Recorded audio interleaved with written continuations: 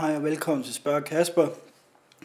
Jeg har fået et spørgsmål fra øh, Philip Chris Havby, der skriver Ask me, hvorfor stalker du Robin Kaja og Kulal Halvorsen?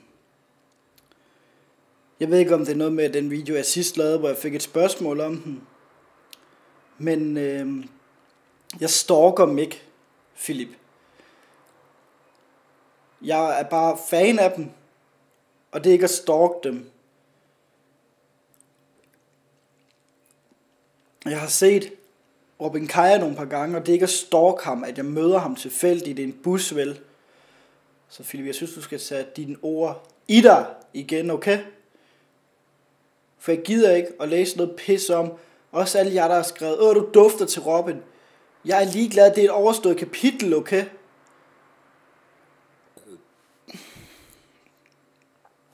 Men hvis det virkelig er sådan, det skal være, så kan jeg få det sådan, okay? Fordi jeg gider ikke at finde mig i det, vel? Kan I forstå det? Jeg gider ikke at finde mig i det.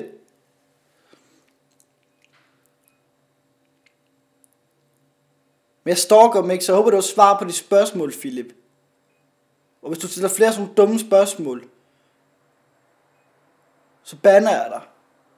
Jeg har også bandet andre på grund af sådan noget der. Så jeg tør godt, Philip. Jeg tør godt. Jeg håber, du har svaret på de spørgsmål. Hej. Hej.